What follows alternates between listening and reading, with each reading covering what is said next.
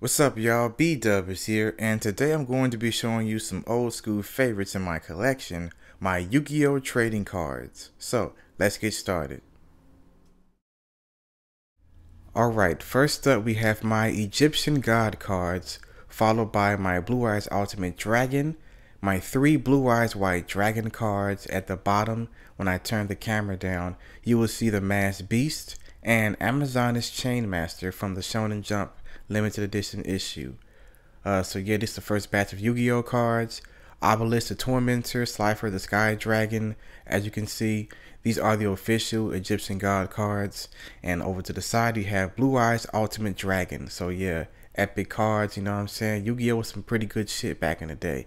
You know what I mean? So yeah, let's move on.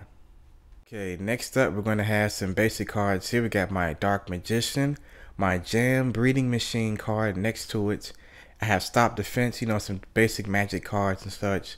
If you if we move down, we have some trap cards. As you can see, we have the uh, Gryphon Wing.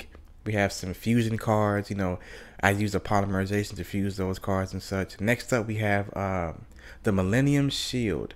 It's right down here. I'm going to pan the camera down to the Millennium Shield and the Andro Sphinx, the Sphinx monsters.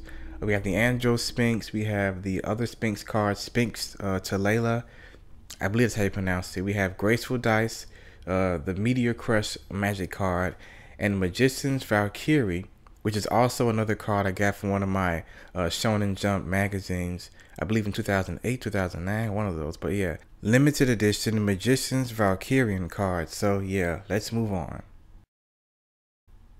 Next up, we have Skull Dice, which is another uh, pretty good trap card. I have Parasite Paracide, I have the Flute of Summoning Skull, and uh, I have some more uh, magic cards. As you can see, you know, some another Parasite, Parasite.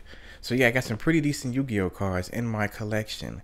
Moving on, we have the Blue Eyes White Dragon, another limited edition Blue Eyes.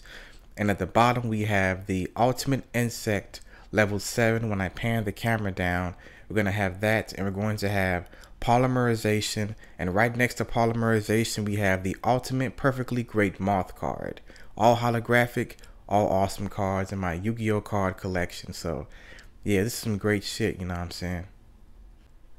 Now moving on to the final card, we have the Red Eyes Black Dragon, the first edition from the original Joey starter deck.